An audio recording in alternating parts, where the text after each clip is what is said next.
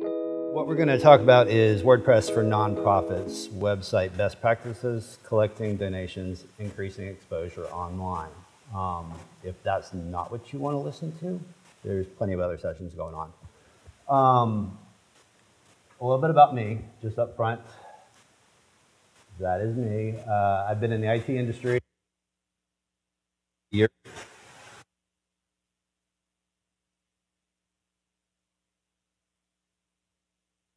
In 2007, I actually published my first post in 2008 because it terrified me to actually let anybody else see it for the first year. Um, which I'm sure if anybody's a blogger understands when that publish button happens, it's a little panic at first.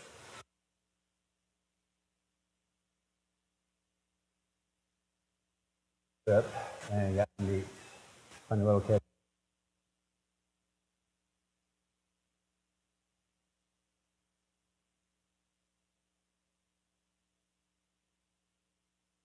And the soul sucking key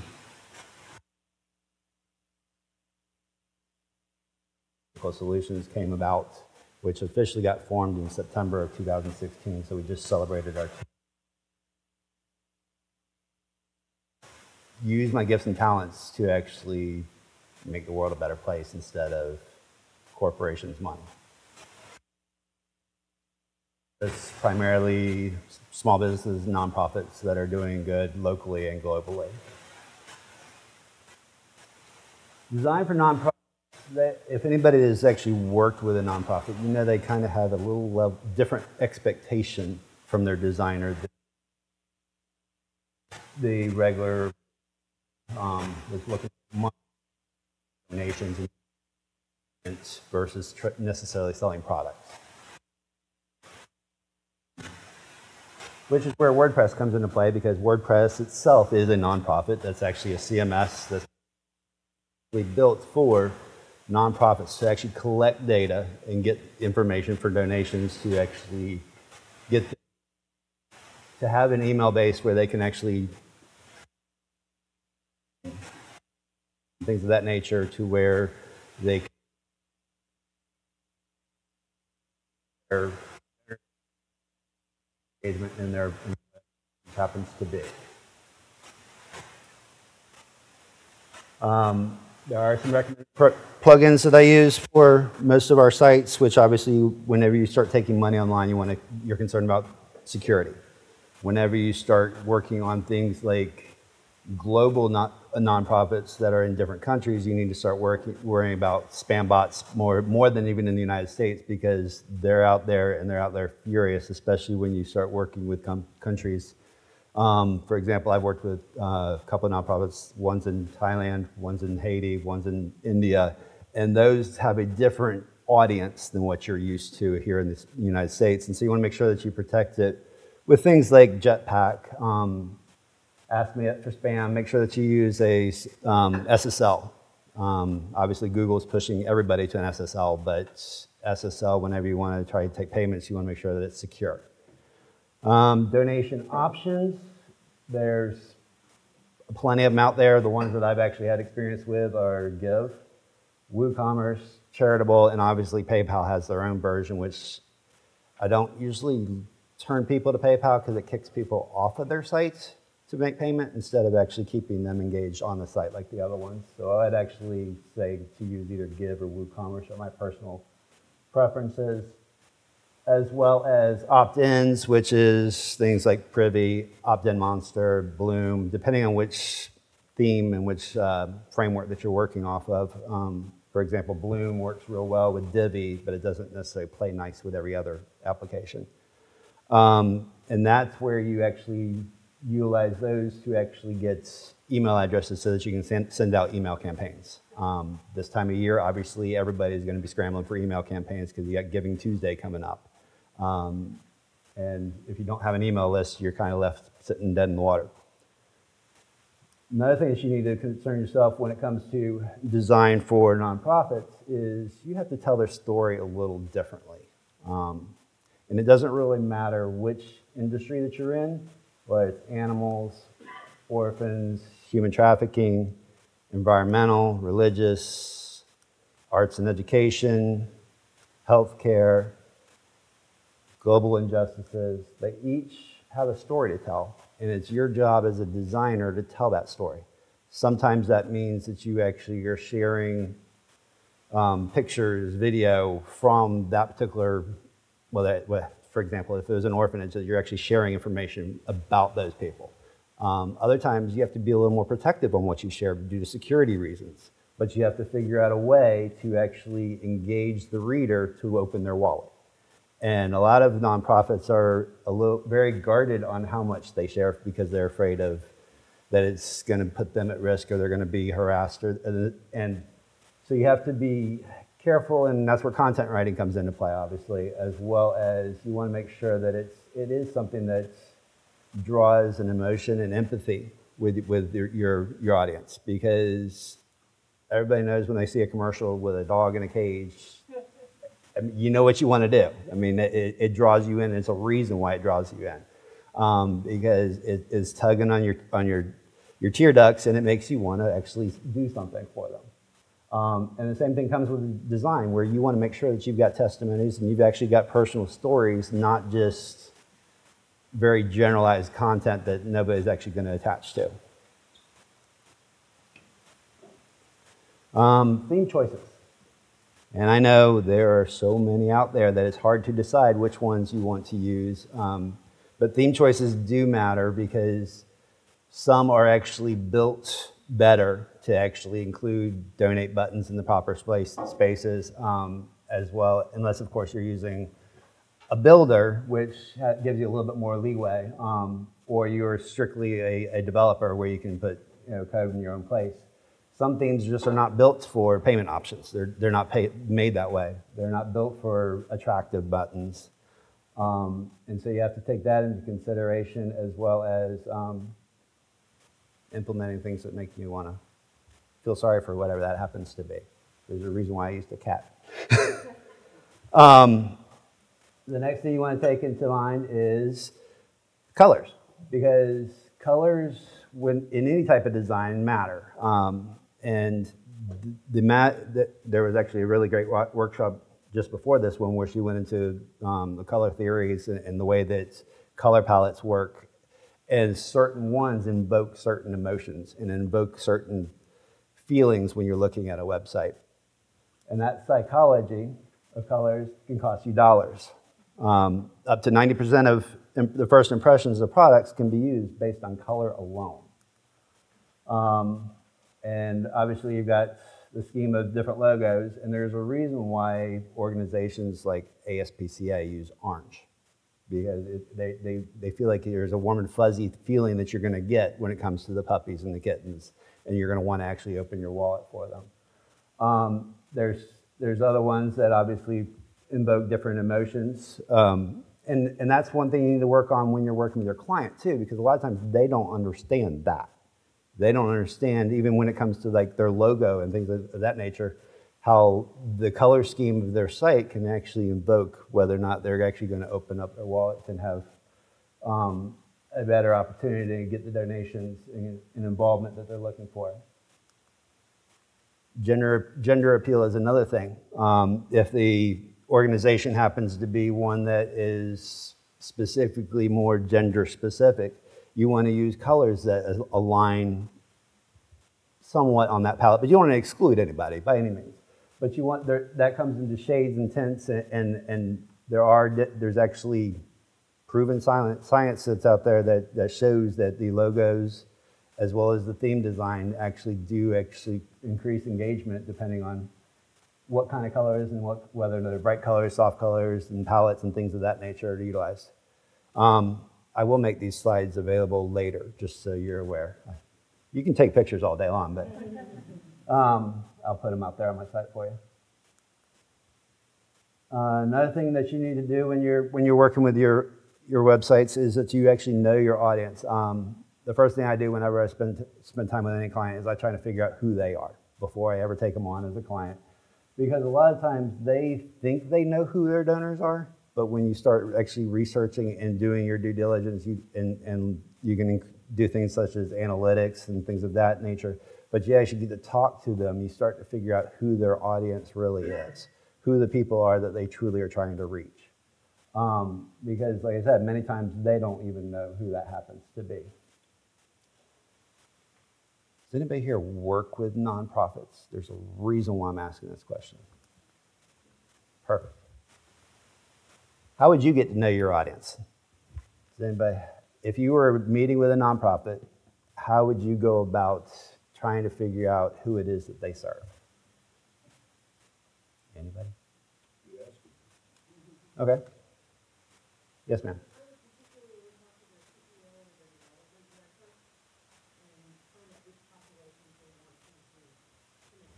Get the right stakeholders in the meeting. Get the right stakeholders in the meeting instead of a lot of times when you talk to a, somebody that's looking for web design, for example, they never have the right person that you're talking to. That, hmm? Exactly, and a lot of people they they don't even know. They just know that they get money every year, but they don't. They haven't even looked to see who their current donors are.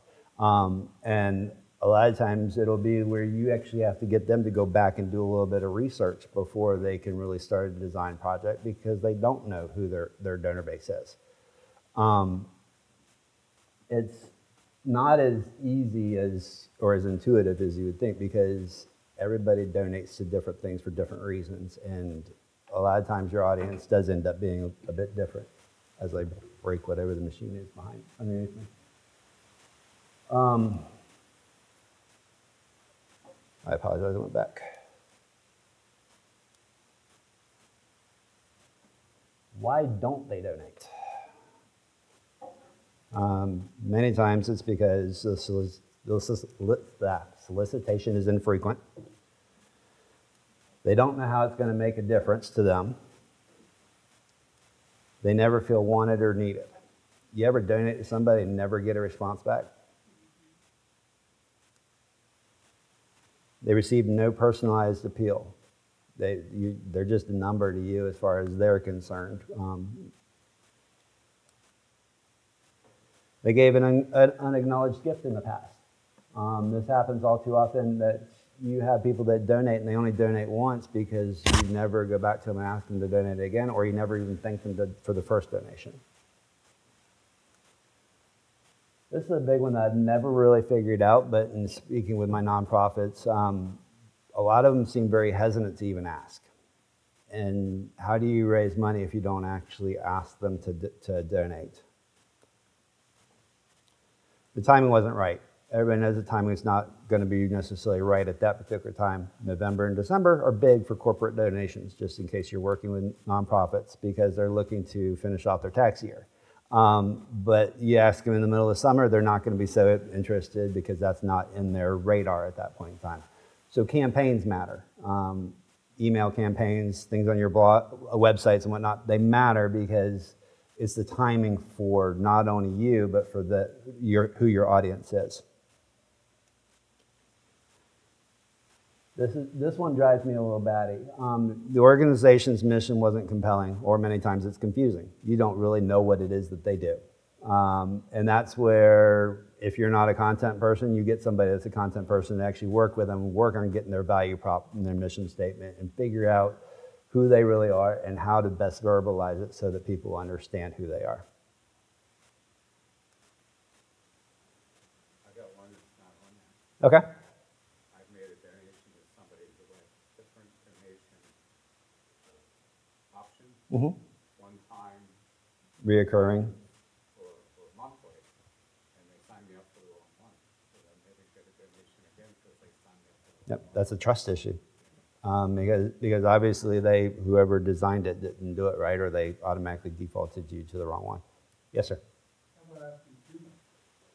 Well, and, and a lot of people think where they, they set the minimum donation for 50 or $100 or whatever. Last time I checked, $5 adds up many times over than $100 would if you have more people that do it. No, I meant is hitting you up for donations. Too many times, too many times a year. I'm sorry, I'm not. Um, I, I get a, a piece of mail that comes in the mail probably every four to six weeks asking me for money. And I never even donated to the organization. And it does nothing but infuriate me every time I get it because one, I asked you to, to ask to unsubscribe, and yet you keep hitting me up every month or so. Um, optimizing the design for nonprofits. Every nonprofit is different, and so are their donors. Um, what that means is the color, theme, SE search engine optimization, whether you're using local SEO or global, or, or you got to really figure out who you're serving and, and do your SEO to, to who that audience is, because not everybody's going to be that audience. Um, they have to be mission ready, meaning that the you need to have the mission up, up in front of them where they know front page what, what they stand for.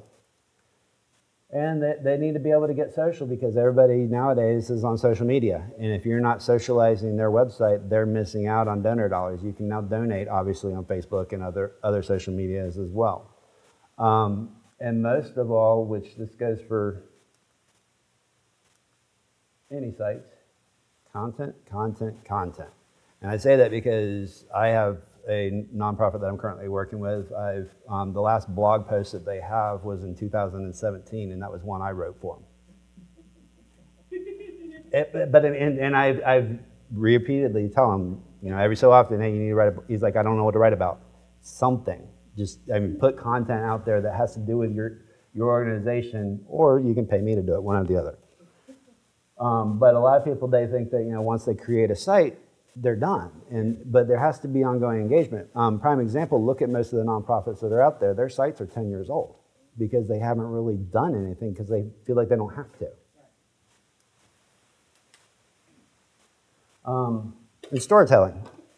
This this comes to the content part where content is king or queen, all depending on who's actually creating it and who the audience is. Stories sell and donors give. Um, the more stories and the more personal you can get, the more people are going to be feel compelled to actually open up and um, donate to you.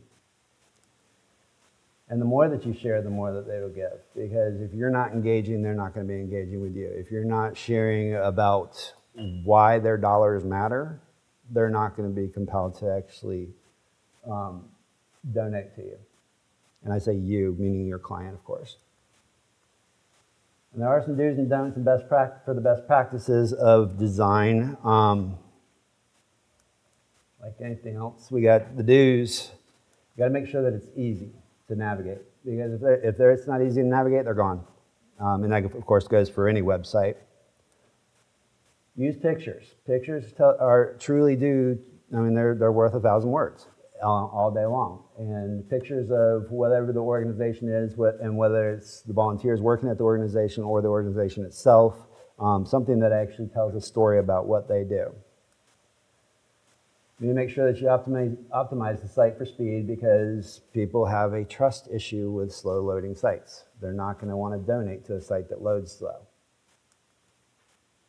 Um, and you have to have a clear call to action. Um, make sure that they understand what it is that, that you're asking them to donate to and why. And you got to make sure that's visible to them. And keep it simple. I mean, many, many websites out there nowadays, especially when it comes to nonprofits, they, they are so all over the place that it's too busy that they, you don't really understand what it is that they do or what they want from you. So the simpler that you can keep it, the better. And obviously, you want to make sure that you secure it because if it's not secure, um, if it doesn't have that little green light on the Google bar, they're, they're not going to donate to you more than likely. And last but not least, for do it, the do's is mobilize. Um, if your site is not mobile friendly, that's where people go for anything nowadays. They see a commercial, they see an ad or whatever, they're going to go on their phone before they go on their laptop. And so you got to make sure that they can actually not only see the site, but they can do the donation on mobile. Um, along with the do's, you got the don'ts. Um, don't hide the donate button. A lot of times it'll be buried on a second page or it'll be buried at the bottom. Make sure that it's above the fold in the menu, top bar, where they can see it and, and it's the first thing that they see where it's visible. Um, do not self play audio and video. I know that was a trend for a while. It was a ridiculous trend, but most people do not like to get blasted with audio or video, doesn't matter what it is, when they first pop up on a website. Um, bless you. Don't bury the story, meaning put it on front page. If you have a recent testimony from a kid or from, a, from an experience with working with a child or whatever, make sure that it's front and center. Make sure that they can see what it is that you're doing. You can have, you know, other content throughout the website, but make sure that you have something that's compelling on the front page that actually increases, um, encourages engagement. Don't forget to ask. Again, don't forget to ask. And that means you can ask in multiple places, um, not only above the fold on the top bar, but you know, ask midstream, ask at the bottom.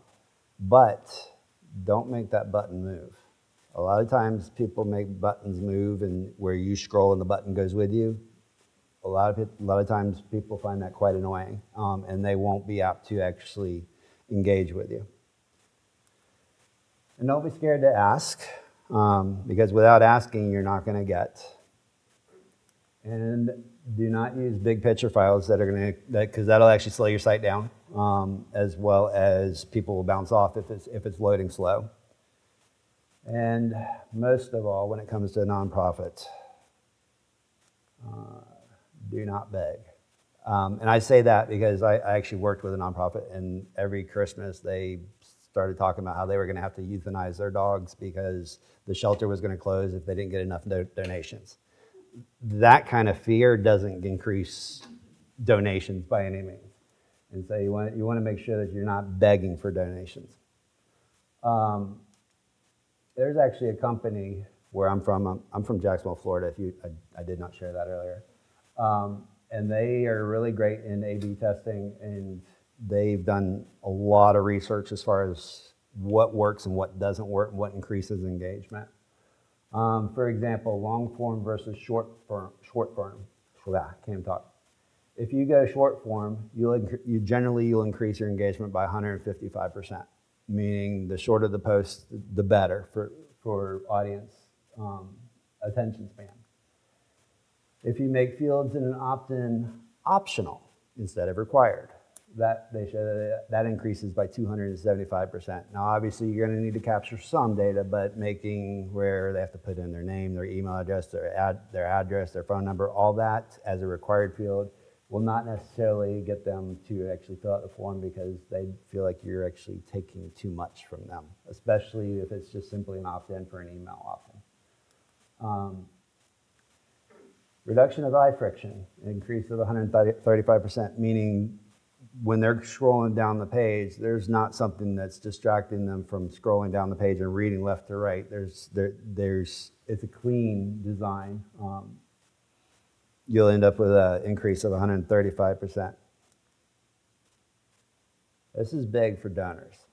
The less steps, the better.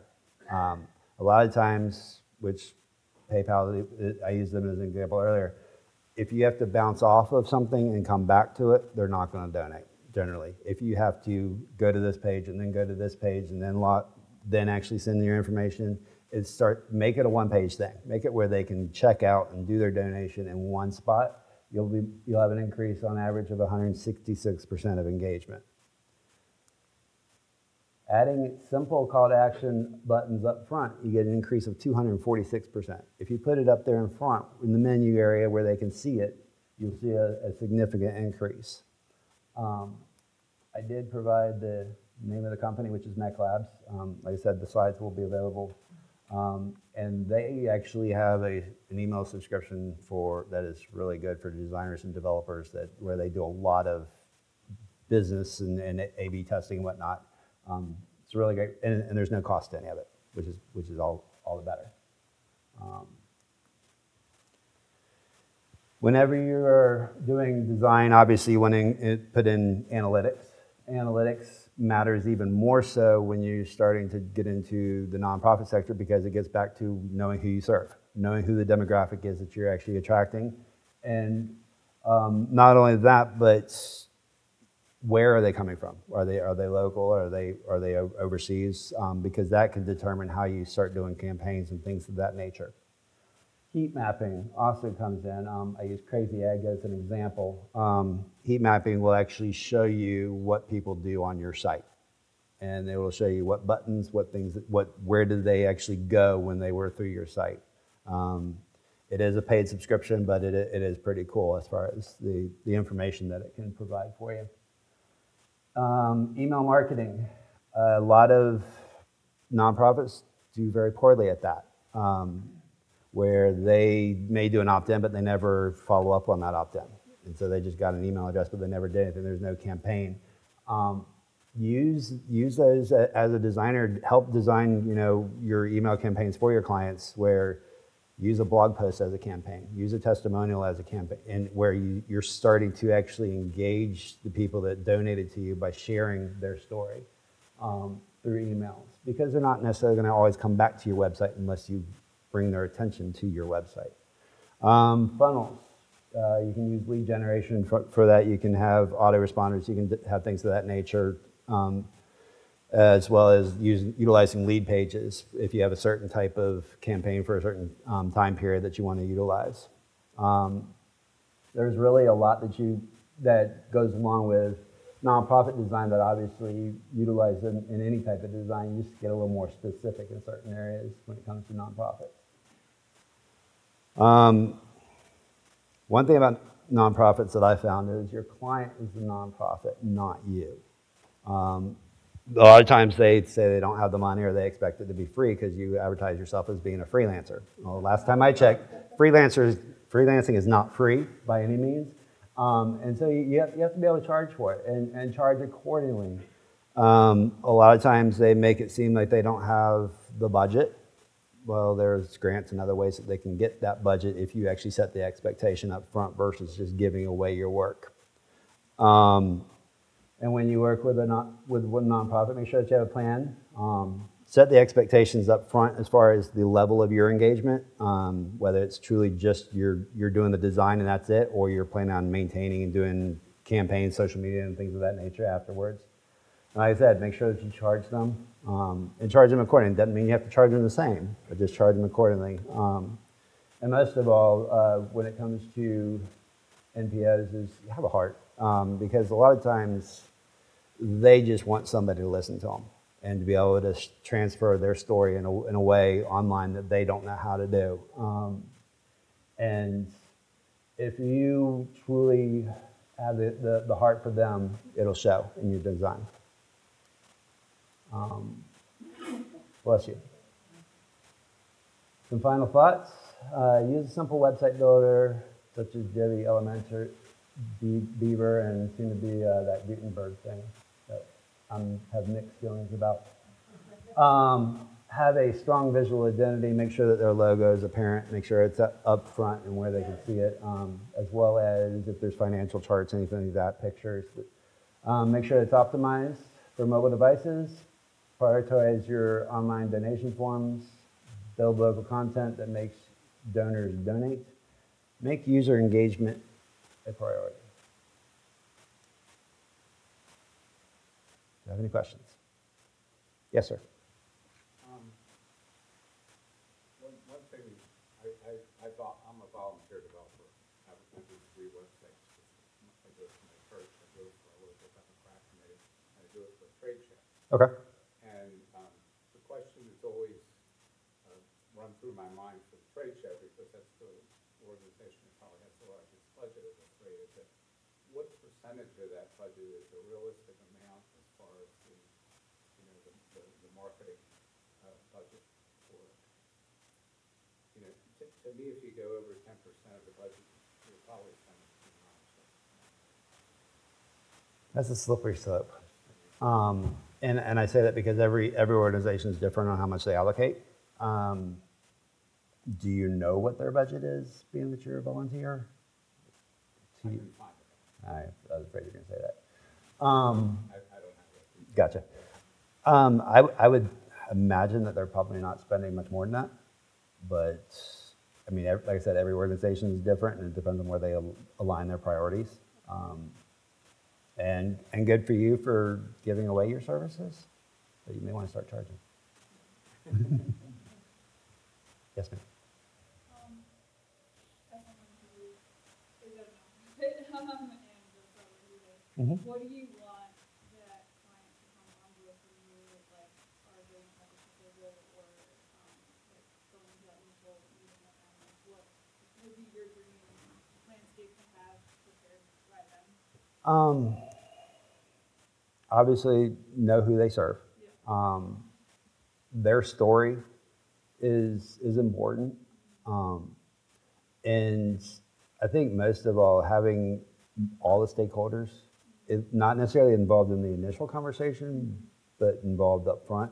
Because a lot of times, and this goes to any design, but especially when it comes to nonprofits, they have to go through a board, and they and, they, and a lot of times the boards don't agree or have a clue. No offense, um, of what is involved, and therefore they, without actually being involved in the conversation, they can't have an intelligent conver- um, discussion about it, and have a budget in mind, because even though as a designer I may say it costs it's going to cost you X amount of dollars, but without having at least the conversation of budget, I mean, most designers, well, as me, I can't say, I can't speak for most. As a designer that works with nonprofits, I generally will adjust somewhat, um, depending on it. Um, and have a vision. Have a vision where you want to go. That's the, that's the biggest thing because a lot of times they come in and say, I need a new website, but they don't know what that means. Have ideas, have, you know, samples of, of things that you like, things that you don't like, that, that kind of stuff. Um, have a color scheme if you, if you have that. Um, certain things like, you know, even simple stuff like fonts, if there's a certain one that you like, I may tell you you're not, you're not right about it, but right, right, exactly. And see, that's, that's perfect because a lot of times they don't even know who their brand is to even have brand guidelines. Um, and the more information that you can bring up front, to me, is, will make the process a lot easier, especially ongoing. I had a question over there, and I'll come back to you. Yes, ma'am. How do your uh, clients um, large donations? So even though we have an active website, it takes a lot of information to make them into things to engage people. Uh, generally, people aren't going to make a fifty thousand dollar donation on a website. So my nonprofit clients don't pay much attention to the website, so they don't see it as a revenue generator as opposed to their hard mailing campaigns, their uh, mailing campaigns, and that particular outreach. So they don't pay much attention to trying to increase the small Um, well, I think the biggest thing, the, and for me, a misconception is those small donations add up. If, if you can get the engagement. Um, because granted, they may not add up to a $50,000 donation in one year, but the reciprocal effect is you may get $25,000 every year for the next 10 years when you only got one $50,000 for one year. Because it's a, it's, a, it's a long game. Because you have to really gain the donor's trust, and the more you gain their trust, the more they start to donate.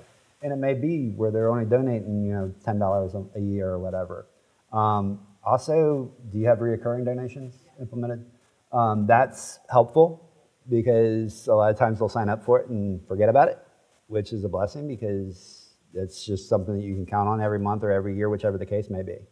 Um, and the biggest thing I would think is also being able to look in at the numbers and see how much the website truly is generating um, and do a comparison versus the, the large and see if you can actually justify your campaigns that way. Mhm. Yes, ma'am. I have a client recently asked me, she paid me upfront, the, the balance, the balance she wants to do it, she wants me to wait for the donation to get the balance, not payment. So. like, Run. I'm, well, and, and, and, I, and I say that, and, I, and I've even had that in the for-profit sector where they're like, well, I want you to do half of it now, and then I'll do the rest of it whenever I start getting money. Exactly. I d you can't run a business like that. Um, and unfortunately, nonprofits are businesses, whether they realize it or not. And you have to, you have to. I mean, it's obviously whatever you're willing to work with, but I would, I would run. I, I have one time, time for one more question. Do you have any experience with uh, gated membership portals on your site, so for donations that for each members for a nonprofit? Where then donating then open up an, a different site for large donations or for additional content? I have not personally had experience with that, but I'm intrigued.